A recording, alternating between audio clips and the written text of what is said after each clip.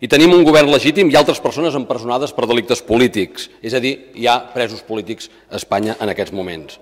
Al llarg de la història, emparant-se en la llei, s'han comès moltes atrocitats.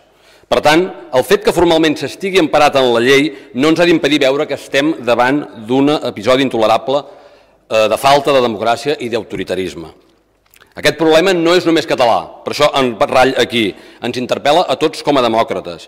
I amb molta pena també vull assenyalar la complicitat del PSOE en aquesta situació tan excepcional, perquè el PSOE és la crossa imprescindible eh, eh, sense la qual el PP i Ciudadanos no podria dur a terme aquest cop contra la democràcia. El suport del PSOE actua com a coartada de molts demòcrates que callen vergonyosament davant d'aquesta situació. Avui s'ha convocat una aturada general, en solidaritat amb els presos polítics i contra l'aplicació de l'article 155. Com a gest solidari amb aquesta aturada, el meu grup ha decidit no intervenir en aquest debat. Moltes gràcies.